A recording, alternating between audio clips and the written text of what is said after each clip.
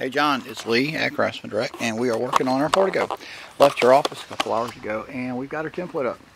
And uh, basically, we're going to run that line in front of the brick. There's my finger, there's my finger right there in front, forming a straight line back.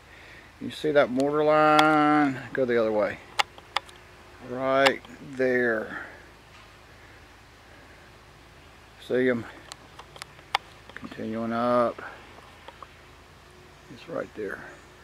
13 inches to get that straight line in line with the edge of the mortar line, which is in line with the edge of the brick. Columns going out front. And the right side, same situation. Um, column is going to go right there in front. Uh, let's follow that straight line back. You see it catches that mortar line right there, goes straight up and 13 inches difference from here to here. So, um, correct me if I'm wrong, but I've got a center line. You'll see the fold right there. And I'm going to fold 13 inches off of each side. Take 26 inches out of it. And it looks like it should fall right anyhow. Um, I'll get you a picture in a minute.